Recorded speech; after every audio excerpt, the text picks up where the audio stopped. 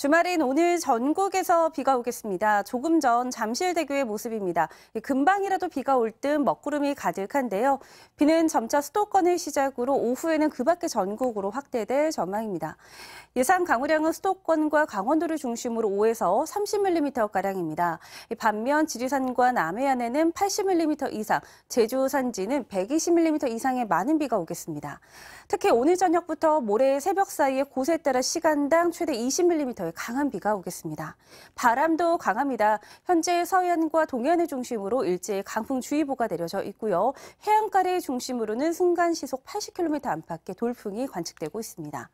오늘 서울의 낮 최고 기온은 22도, 대구 24도로 어제보다 낮겠습니다. 비는 오늘 늦은 밤에 수도권을 시작으로 내일 새벽에는 대부분 그치겠습니다. 날씨였습니다.